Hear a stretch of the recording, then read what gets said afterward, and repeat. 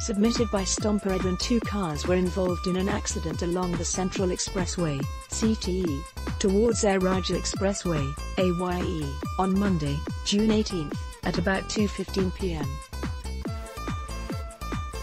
Stomp Edwin shared photos and a video of the incident with Stomp. According to the Stomper, the accident happened just before the Orchard Road exit along the third lane. The photos, a white car appeared to have rear-ended a blue car. The front of the white car looked to be badly damaged and part of its bumper ended up under the other vehicle. The front and right side of the blue car was dented and damaged.